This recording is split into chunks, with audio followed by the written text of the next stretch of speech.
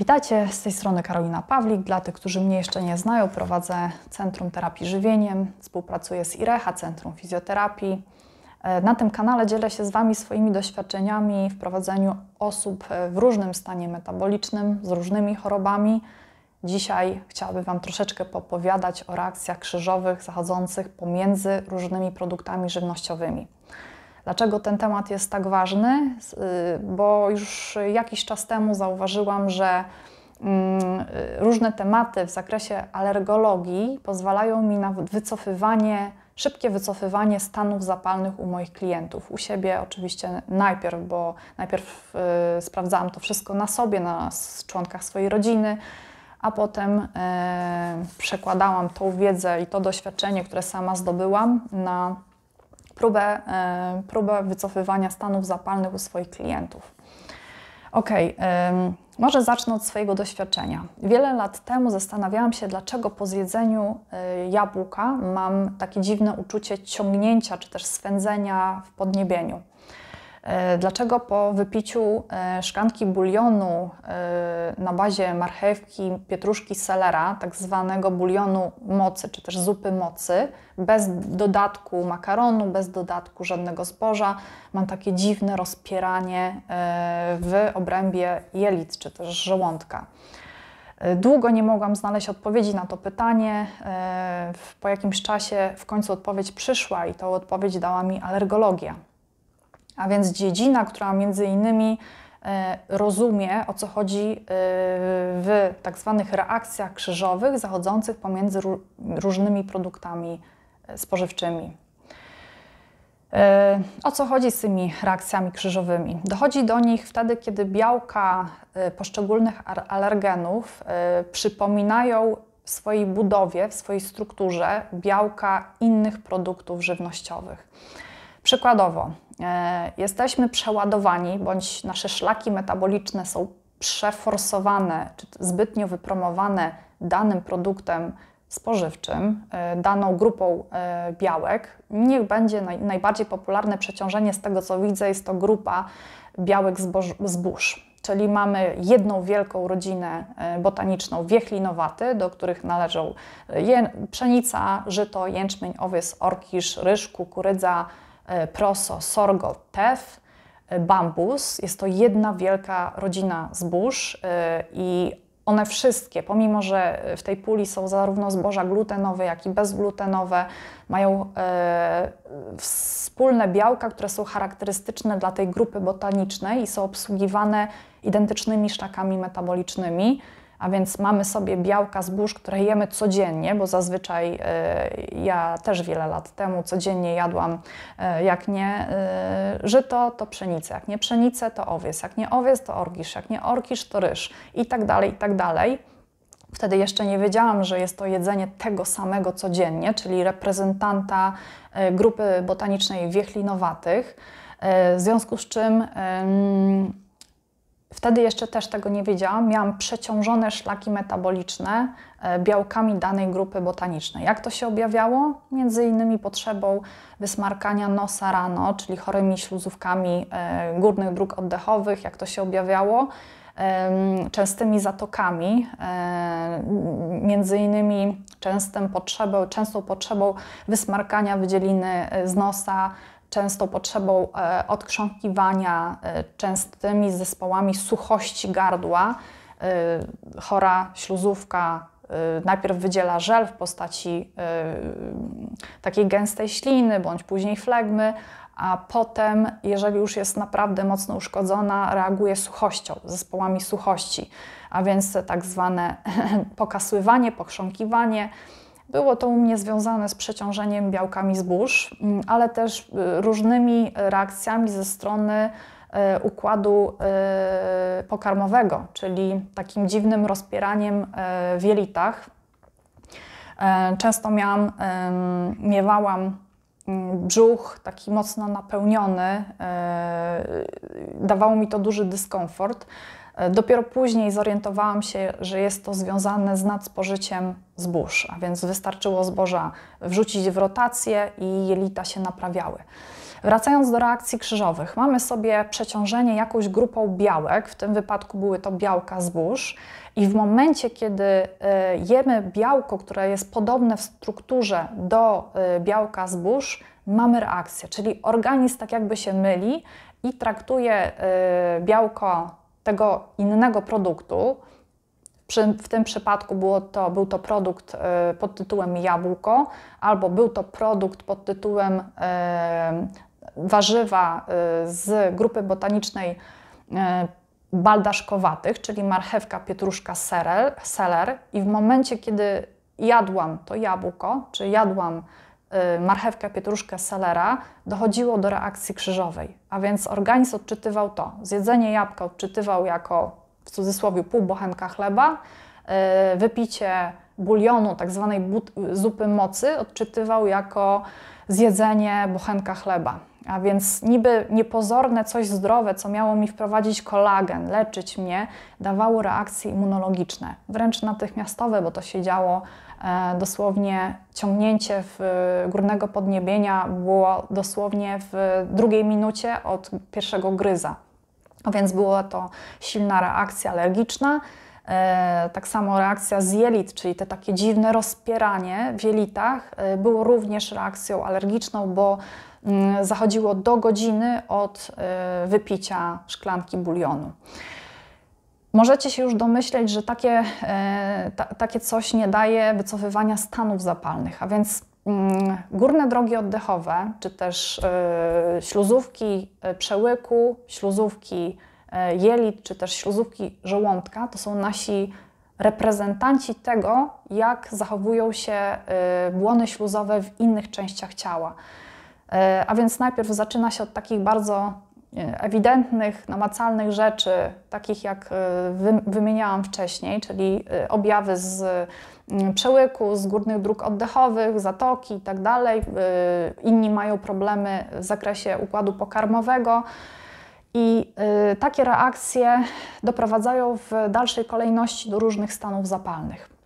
A więc tak, już teraz możecie wyłapać, że takie rzeczy jak marchewka, pietruszka, seler, czyli, e, czyli grupa produktów z rodziny baldaszkowatych, wchodzi w reakcję krzyżową ze zbożami. Takie produkty jak jabłko, które wywodzi się z rodziny botanicznej, bodajże marzanowatych, ja zaraz sobie, yy, przepraszam, różowatych, różowatych. Mam tutaj ściągawkę yy, klasyfikacji yy, różnych grup botanicznych i zoologicznych, a więc mamy e, rodzinę różowatych, do której należą również migdał, morela, wiśnia, czereśnia, brzoskwinia, śliwka, malina, mm, jeżyna, truskawka, poziomka, e, róże, owoc i płatki róży, woda różana, ocet różany, pasta różana, konfitura różana, jabłko, gruszka, e, pigwa. Są to, jest to jedna wielka rodzina różowatych i osoby, które mają stwierdzoną bądź już e, widzą, że coś jest nie tak ze zbożami, w momencie, kiedy jedzą codziennie pigwę, albo syrop z pigwy, albo sok z pigwy, w momencie, kiedy jedzą codziennie jabłka, w momencie, kiedy jedzą codziennie gruszkę czy inne y, owoce wymienione z tej róży, nie będą w sposób doskonały leczyły swojego układu immunologicznego. Dlaczego u mnie y, doszło, dochodziło już w tak młodym wieku do reakcji krzyżowych? W momencie, kiedy mm, robię, zbieram wywiad y, z moimi klientami, zawsze pytam o datę urodzenia. Nie dlatego, że y, kocham astrologię, tylko po prostu y, stosuję wiedzę, która jest stosowana w alergologii, a więc pytam o datę urodzenia, bo alergologia wie, że pierwsze trzy miesiące od momentu narodzin stanowią duże wyzwanie dla człowieka, dla jego układu immunologicznego. E, wtedy mamy jelita jeszcze do końca nie tak mocne jak po, po, po tych trzech miesiącach, a więc są one dosyć przepuszczalne, są delikatne. Wszystko to, co pyli e, od e, tego pierwszego dnia naszych urodzin, będzie, ma potencjał do tego, żeby nas, nas uszkadzać i ma potencjał do tego, żeby w przyszłości wywoływać problem. Jestem rodzona w czerwcu, A więc y, patrzę sobie na y, tabelę y, pylenia się roślin i co się dowiaduję. W miesiącach maj, czerwiec, lipiec, troszeczkę jeszcze sierpnia, najbardziej pylą zboża. A więc jest to sezon pylenia się traw, czyli traw, czyli całej grupy botanicznej wiechlinowatych i na to z dużym prawdopodobieństwem y, będę narażona od momentu moich narodzin w przyszłości. W momencie, kiedy człowiek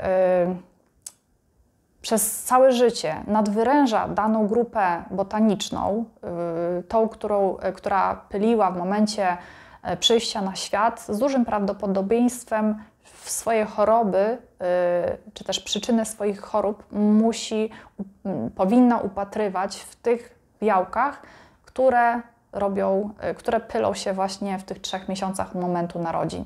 To jest moja podpowiedź ze strony alergologii w kierunku, gdzie powinnam szukać u osób, gdzie powinnam szukać przyczyny chorób, przyczyn dietetycznych u osób, które rodziły się w maju, czerwcu, lipcu, trochę sierpnia. W zbożach, a więc moje pierwsze pytanie, jak często jadane są zboża, glutenowe i bezglutenowe. Oczywiście rodzenie w tych, y, urodziny w tych miesiącach nie jest głównym wyznacznikiem, y, czy też nie jest y, stuprocentowym miernikiem tego, czy będziemy predysponowani do tego, żeby chorować od zbóż, bo okazuje się, że osoby, które urodzone są w wrześniu, sierpniu, przepraszam, wrześniu, paździer wrześniu, październiku, listopadzie, grudniu czy styczniu, lutym, również mogą y, mieć problemy ze zbożami. Tak naprawdę wszystko zależy od y, wielu czynników, od naszej kuchni, od naszej diety, od częstotliwości jadania różnych produktów żywnościowych, y, ale taka ciekawostka, a więc pylenie się traw, to jest ten maj, czerwiec, lipiec, trochę sierpnia. I jeżeli jesteście rodzeni w tych, w tych miesiącach, to zwróćcie uwagę, jak reagują wasze układy górne drogi oddechowe, jelita po zjedzeniu produktu zbożowego. Jeżeli zauważacie ciągłe wzdęcia, gazy w momencie, y, kiedy zjecie coś y, zbożowego, czyli bułka, croissanty, nie wiem, chleb, owsianka y, i inne pochodne od zbóż, to spróbujcie odstawić się na 3 dni. Zobaczcie, czy przypadkiem jelita nie, stan jelit się nie poprawia. Potem zróbcie sobie jeden dzień przerwy, czyli tak zwaną prowokację. Zobaczcie, czy po tym dniu nie ma nasilenia objawów. E, potem znowu radzę przejść na 72 godziny przerwy od zbóż, e, tak jak to radzą alergolodzy, a więc posprzątać w e, układzie immunologicznym, posprzątać szlaki metaboliczne, które są prawdopodobnie przeciążone zbożami i potem znowu zróbcie prowokację będziecie wiedzieli, y, albo z dużym prawdopodobieństwem, będziecie wiedzieli, czy to zboża nie są przyczyną Waszych problemów z górnymi drogami oddechowymi i innymi, y, innymi układami. Jeżeli okazuje się, że wrzucacie w rotację zboża, a nadal macie problem, to podejrzewam, że może być to alergia y, wieloważna, czy też nadwrażliwości związane z większą ilością produktów. Zazwyczaj widzę że w momencie, kiedy osoba nad, nadwyręża jadanie e, zbóż, czyli wszystko z chlebem, wszystko z e, zbożami, albo zboża 3-2 razy dziennie, to y, szukam po białkach albo po nadmiarze białek, bo zazwyczaj tak jest, że w momencie, kiedy osoba je dużo chleba albo produkty zbożowe i obok białka zwierzęce miesza jeszcze nadmiernie białka zwierzęce, to stany zapalne są powiązane z jednym i z drugim. Stany zapalne mogą być również powiązane z innymi produktami żywnościowymi i tak jak to mówi moja mentorka dietetyczna e, Ewa Bednarczyk-Witoszek, im dalej w las, tym więcej drzew, więc trzeba dalej poszukiwać, co uszkadza błony śluzowe. Ok, czyli mamy taką reakcję krzyżową pomiędzy zbożami, a marchewką, pietruszką, yy, selerem, jabłko, jabłkiem, co jeszcze daje reakcje krzyżowe ze zbożami, między innymi miód y, i syrop klonowy, miód i produkty pszczele. Mm, a więc y, alergologia wie, że niepoważnym jest, y, jeżeli ktoś ma chorobę od zbóż, codzienne picie przykładowo produktów z pyłku, na bazie pyłku pszczelego, propolisu, bo jest to ciągłe bodźcowanie układu immunologicznego i ciągle przypominanie mu, że hej, jesteśmy tu zboża i, i, i trochę Cię jeszcze po, pobodźcujemy, e, czyli damy stany, stany zapalne. A więc e, zielarze naturopaci patrzą na jeden koniec kija, czyli patrzą, jak tu by podnieść minerały, witaminy w organizmie, a nie, nie patrzą na odpowiedzi immunologiczne. Natomiast lekarz widzi po przeciwciałach, że coś jest dalej nie tak. Ciągle są wytwarzane przeciwciała, a człowiek nawet nie jest świadomy tego, że tak niewinne, niewinna suplementacja pyłkiem pszczelim i propolisem nie daje naprawy, czyli nie daje wycofywaniu się różnym chorobom alergicznym, nadwrażliwością, pokarm, nadwrażliwością pokarmowym i innym. A więc mamy taki przykład z dnia codziennego suplementacji pyłkiem pszczelim. Jakie jeszcze mogą być takie ciekawe reakcje? E, wiecie, że mm, w naturopatii często, mm, czy też zielarze często e, proponują różne takie produkty czy suplementy ziołowe. Przykładowo mamy koci pazur i owoc noni. Są to y, paraleki o właściwościach uodparniających, całkiem niezłe y, z tego co widzę. Natomiast y, nie zadziałają one u osoby, które codziennie pije kawę, tak jak się tego spodziewa naturopata czy też y, inny, y, inny terapeuta. Dlaczego? Dlatego, że zarówno koci pazur, czyli wilka kora, zarówno owoc noni, czyli ten sok noni, który jest również proponowany, nie, one wywodzą się z tej samej grupy botanicznej, czyli marzanowate, co wywodzi się kawa. A więc my codziennie pijemy kawę, a potem jeszcze e, dokładamy sobie suplement w postaci kociego pazura i e, zastanawiamy się, dlaczego ten lek nie zadziała tak, jak na odwrocie na ulotce jest napisane. E, a więc nie będzie podnosiło nam odporność coś, co i tak jemy codziennie. Ja rozumiem, że zielarze widzą ten kontekst y, y, wartości y, odżywczych, czy też sposobu działania tych, tych leków, natomiast muszą też patrzeć tak, jak immunolog patrzy, czy alergolog patrzy.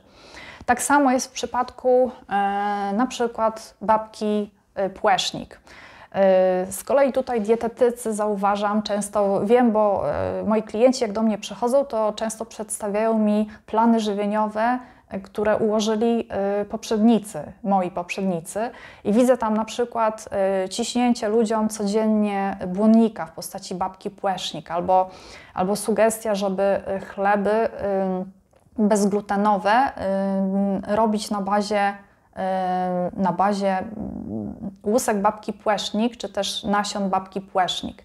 I teraz tak, nie byłoby problemu w momencie, gdyby to było sporadycznie e, jedzone. Natomiast często te produkty e, są wsypywane do koktajli celem e, wpuszczenia błonnika do układu pokarmowego.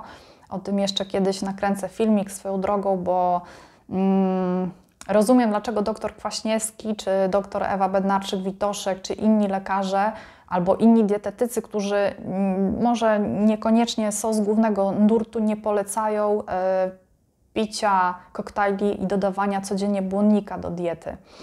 E, a więc tak, mamy babkę zwyczajną, babkę płesznik, która jest z rządu jasnotowców. Ten, który nadużył psiankowatych, czyli e, ziemniaka, czyli pomidora, czyli często je pomidora w różnej postaci, czy to ketchup, czy to pasata pomidorowa, czy to po prostu pomidor na kanapkę, y, no, ten może mieć problem, czy to ziemniaki. Y, nie wiem, przykładowo osoba bardzo lubi ziemniaki i je je pięć razy w tygodniu w postaci klusek śląskich, kisielu, w postaci tam, nie wiem, ziemniaków w mundurkach, pieczonych i tak dalej. Tego babka płesznik nie będzie leczyła jako ani błonnik, ani dodatek do, e, do chlebów e, celem wywołania tej struktury glutenowej, czyli spojenia. Dlaczego? Dlatego, że rząd jasnotowców wchodzi w reakcję krzyżową albo może wchodzić w reakcję krzyżową z roślinami psionkowatymi. I przykładowo, jak mam osobę z wrzodami żołądka albo z różnymi problemami jelitowymi e, i jeżeli namierzę y, którąś roślinę czy któreś warzywo z rzędu psiankowatych, które mm, z dużym prawdopodobieństwem będzie mi leczyło żołądek, a jest nim najczęściej ziemniak, ziemniak działa dosyć łagodnie dla żołądka, to ja już tej osobie nie będę polecała, nie mogę polecić błonnika y, na bazie babki zwyczajnej. Codziennie, prawda? Codziennie, bo tu chodzi o to, nie chodzi o to, żeby całkowicie wykluczyć coś z diety, tylko żeby zwrócić uwagę na powtarzalność, na częstotliwość jadania jakiejś grupy botanicznej, bo, bo tak naprawdę różne dziedziny yy, doszukały się, czy też yy, odkryły różne zależności, które zachodzą w naszym organizmie, i szkoda by było nie wykorzystać w leczeniu naszego ciała tych ciekawych rzeczy, a więc między innymi reakcji krzyżowych. Co jeszcze mogłabym z, z ciekawych przykładów z życia y, wziętych y, Wam poopowiadać? Przykładowo posty kapustne albo, mm, mm, albo ktoś y, jada codziennie rośliny z rodziny kapustnych, czyli poniedziałek zje chrzan, we wtorek rukole, w czwartek gorczycę, w piątek kapustę, w, tam w sobotę brokuł, Kolejne dni brukselka, kalafior, jarmuż, kalarepa, rzepak, y, rzeżucha, rukiew. Musicie wiedzieć, że te wszystkie rośliny, które wymieniłam, one wywodzą się z jednej rodziny botanicznej, kapustowatych. I teraz jedzenie codziennie jakiegoś reprezentanta tej grupy nie będzie poważnym y, y, przedsięwzięciem w kierunku naprawy naszego układu immunologicznego, bo dojdzie do przeciążenia najczęściej. Do przeciążenia, czyli e, jak to się może e, objawiać w tak praktycznym życiu. Osoba idzie, robi przykładowo testy na nietolerancje pokarmowe e, i wychodzi jej albo nadwrażliwość IgE zależna, albo alergia, przepraszam, IgE zależna, albo y, nietolerancja w postaci IgG, y, podwyższonego IgG, y, właśnie w zakresie warzyw z rodziny kapustnych. Wstawkę zrobię, bo jest to potrzebne. Chcę Wam powiedzieć, że ci, którzy robią testy IgE zależne, którzy dostają, nie wiem, skierowanie od alergologa, bardzo rzadko w testach IgE zależnych wychodzi mi nadwrażliwość, nie, nie, alergia pokarmowa. Czyli te testy dla mnie nie są wystarczająco wiarygodne do tego, żeby udowodnić komuś, że od tego ma stan zapalny jelit bądź inne stany zapalne. E, o wiele częściej e, z objawami pokrywają mi się wyniki testów IgG zależnych, natomiast zawsze wyniki testów IgG zależnych przepuszczam właśnie przez wiedzę botaniczną, przez wiedzę immunologiczną, przez wiedzę zoologiczną, y, czyli y, znajomość grup zoologicznych. Bo wiem, y, że jest duże prawdopodobieństwo zachodzenia reakcji krzyżowych pomiędzy różnymi grupami. Czyli przykładowo, jeżeli osobie wychodzi brokuł, to ja wiem, że muszę tego brokuła wpuścić w rotację, czyli zadaję brokuła raz na trzy tygodnie albo raz na dwa tygodnie, w zależności od tego, jak mi wychodzi, w jakiej skali mi wychodzi e, w testach IgG zależnych. I od razu uczulam daną osobę. Ona zazwyczaj dostaje ode mnie, właściwie wszyscy moi klienci dostają e, taki plik edukacyjny, których mają za zadanie dokształcić się i y, zwrócić uwagę, do jakiej grupy botanicznej należą poszczególne produkty żywnościowe. Jeżeli jedzenie ma nas leczyć, no to jest niezbędne y, poznanie tej wiedzy.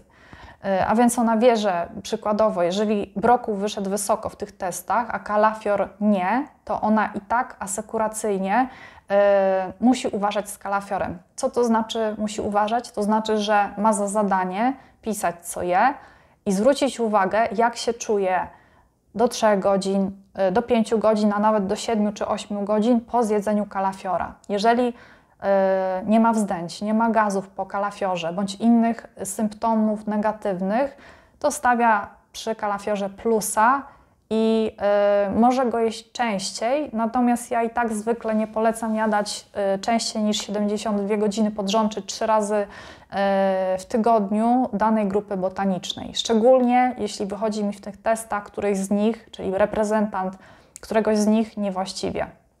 A więc tak, mamy już e, takiego te, przykładowo kapustne. E, co jeszcze z takich ciekawych rzeczy? Zawsze pytam o reakcję po marchewce i anyszku, e, ponieważ jeżeli osoba na przykład mówi mi, że nie cierpi anyszku i to tak, że wręcz aż nie może go wąchać, to podejrzewam u niego nietolerancję w zakresie żyta i pszenicy, bo tam też często y, wychodzą reakcje krzyżowe. Y, pamiętajcie, że przyjście na świat w okresie pylenia się danej rodziny botanicznej zwiększa prawdopodobieństwo uczulenia y, się na nią. A pamiętacie również, że chorujemy i starzejemy się najczęściej z powodów nadużywania różnych rzeczy, które jemy codziennie, różnych produktów e, tej samej grupy botanicznej czy zoologicznej jedzonej przez nas codziennie. Czyli nie, nie polecam codziennie jadania owoców z rodziny różowatych, e, czyli codziennie jabłka, codziennie gruszki, e, codziennie śliwki w różnej postaci. Nie wiem, czy zauważyliście, ja w swoim gabinecie zauważyłam to i jest to powtarzalne, często osoby mówią, że wyjechałem za granicę, jadłem różne owoce, pomimo że e, wcześniej zauważył w Polsce, że po owocach ma różne wysypki, albo zaczerwienienie skóry, albo wzdęcia, bądź gazy. Natomiast wyjechał za granicę, pojadł tam owoce i totalna cisza w układzie pokarmowym. Dlaczego tak się dzieje? Dlatego tak się dzieje, bo zaczął jeść inne owoce niż jadł w swojej, tam gdzie mieszkał. A więc często jest tak, że jak zmieniamy dietę i wyjeżdżając gdzieś poza obszar y, swojego zamieszkania i zaczynamy jeść tamtejszą dietę, to układ y, pokarmowy się leczy. Dlaczego? Dlatego, że zaczyna obciążać szlaki metaboliczne zupełnie innymi białkami y, z pożywienia. Czyli wprowadza coś nowego, coś, co zaskakuje jego układ odpornościowy i to jest korzystne. A więc y, ja wiem, że jest teraz takie mm, forsowanie trendu jedzmy sezonowo, tak, ale znajmy swój umiar, znajmy umiar i obserwujmy symptomy swojego ciała, bo jeżeli mamy y, przykładowo, mm, jemy, wchodzimy na dietę niskowęglowodanową, białkowo-tłuszczową, a nie jesteśmy w stanie schudnąć nawet trochę, to zwróćmy uwagę, którą grupę bio, bio, botaniczną, y, roślinną bądź zoologiczną jemy codziennie. Być może nie chudniemy, dlatego że codziennie jemy jajka już od, nie wiem, pięciu miesięcy albo od dwóch lat. Codziennie na śniadanie to samo. Y, być może nie schudniemy ani grama, jeżeli gdzieś tam codziennie albo zbyt często jemy to samo mięso, wieprzowinę. Mm, tak, co jeszcze mogłabym jako ciekawostka powiedzieć? Mm, brzoza i leszczyna. O brzozowatych może trochę teraz opowiem, mm, dlatego że często osoby mi się pytają, czy mogą słodzić ksylitolem. Jeżeli widzę u nich przykładowo e, nietolerancję na, na orzeszki, leszczy, e, orzeszki laskowe, zazwyczaj nietolerancję na orzeszki laskowe mają e, osoby urodzone luty, marzec.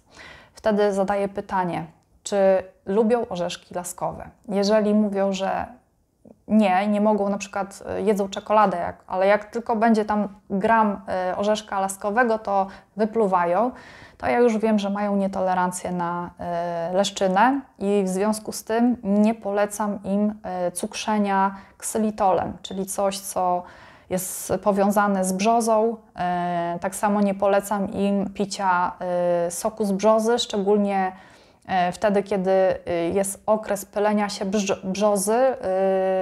Mają tego unikać, bo zazwyczaj z tego co widzę nasilają autoagresję, nasilają inne choroby, nasilają stany zapalne i mają się również obserwować, tak żeby wychwycić i widzieć te powiązania, mm, reakcje krzyżowe. Ok, przykładowo, ktoś rodzi się w sierpniu i ma problem y, z, będzie miał albo z dużym prawdopodobieństwem może mieć problem na rośliny z rodziny astrowatych. Ok, zaglądam sobie do ściągawki, e, zaglądam sobie do ściągawki, a tam e, mamy astrowate, takie jak słonecznik, topinambur, bylica, estragon, rumianek, krwawnik, cykoria, niszek lekarski, sałata, stevia, kłesznik, ostropes, karczoch, a więc osoba, która rodzi się w sierpniu i przykładowo idzie do naturopata albo zielarza i on mu przepisuje codziennie picie mniszka lekarskiego albo codziennie e, picie, nie wiem, krwawnika, rumianku czy karczocha i astropestu na wątrobę. E, ja wiem, że karczoch i astropest jest bardzo polecany na regenerację wątroby. E, jest to przez, jest, są to rośliny, które przez wielu zostały sprawdzone. Natomiast zwróćmy uwagę, czy po wypiciu ostropestu i karczocha nie mamy jakiejś reakcji y, z układu jelit z żołądka.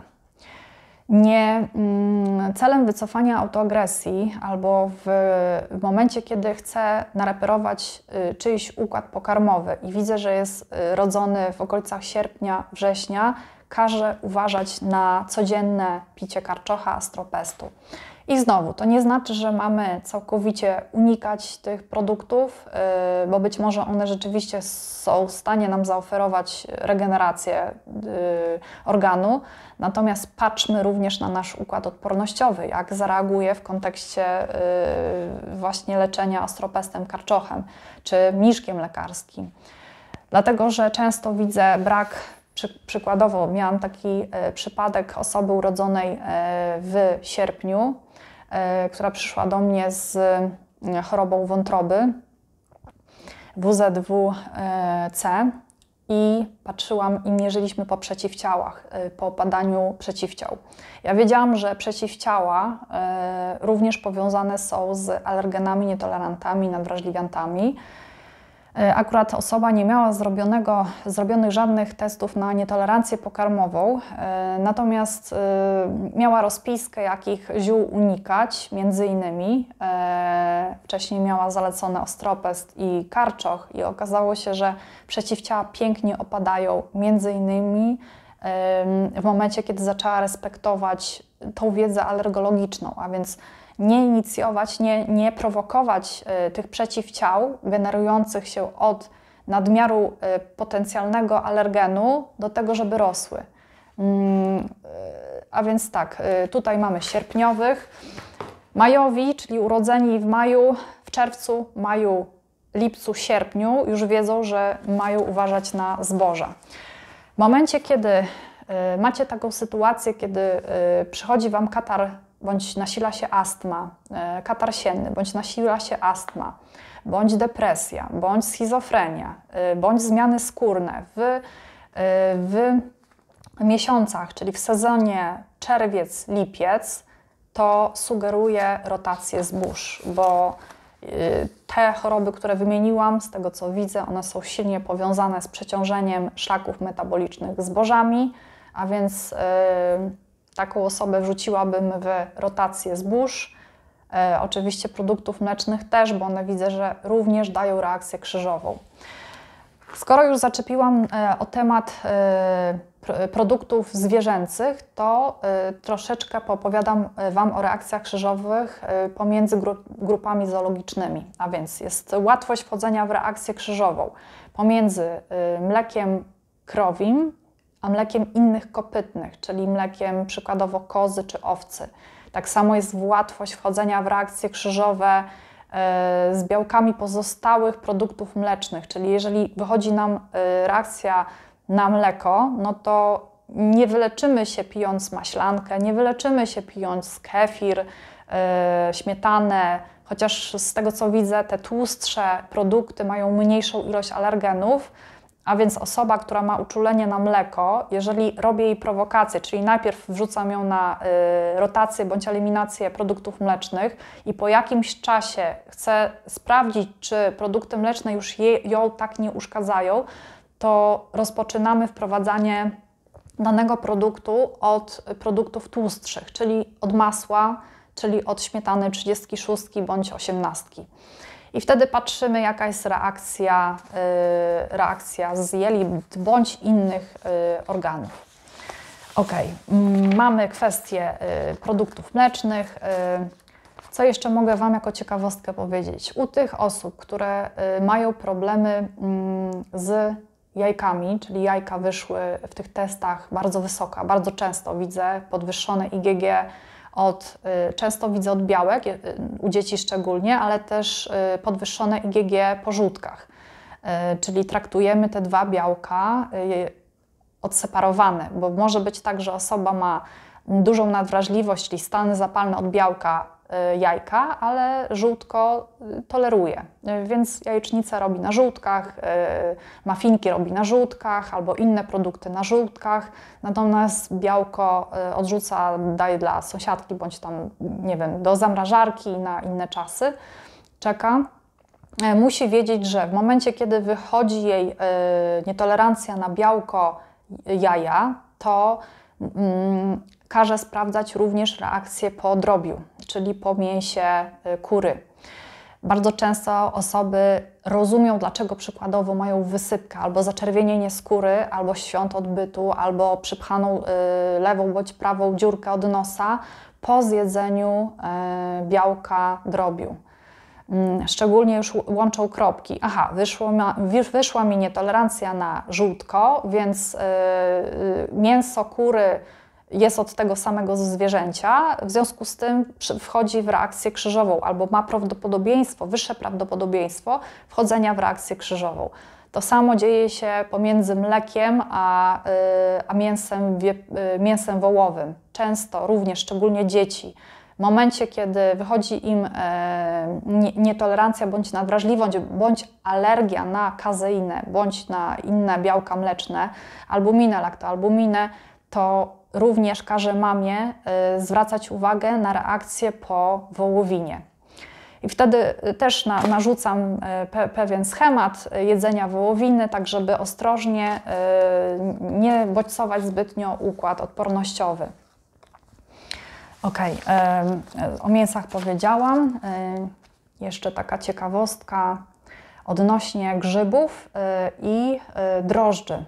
Też zauważa, alergolodzy również to zauważają, że bardzo często u osób, które, e, którym wychodzi reakcja na zboża, e, one mają bardzo często też nietolerancję na grzyby, czyli pieczarki oraz inne grzyby, oraz nietolerancję na drożdże.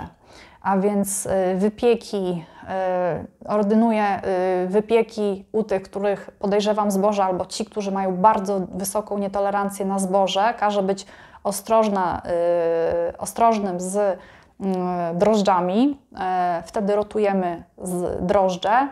No i wtedy wypieki przykładowo są na y, różnych, na proszku do pieczenia albo cream of tartar, jest coś takiego, też fajnie podnosi ciasto.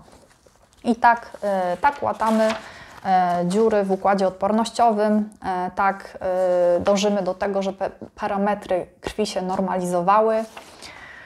I można by o tym jeszcze długo popowiadać. Mamy już 37 e, minut, może na tym skończę.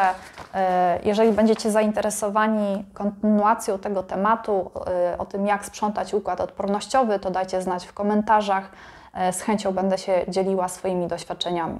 Tymczasem trzymajcie się, edukujcie się, zwracajcie uwagę na swoje reakcje z ciała.